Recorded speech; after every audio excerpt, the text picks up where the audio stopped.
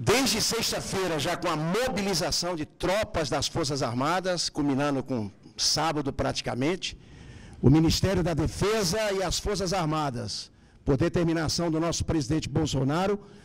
está, esteve e está totalmente mobilizado para o apoio à população pernambucana que sofre com essas chuvas, com essa catástrofe. Já somos cerca de 500 militares da Marinha, do Exército e da Força Aérea, trabalhando em diversas áreas já citadas aqui. A gente lamenta muito a perda de vidas, muito sentida, mas é uma hora de união de todos para que a gente possa ajudar as pessoas que estão necessitando nesse momento. Então, pernambucanos, nordestinos, saibam que as Forças Armadas estarão sempre ao lado do povo brasileiro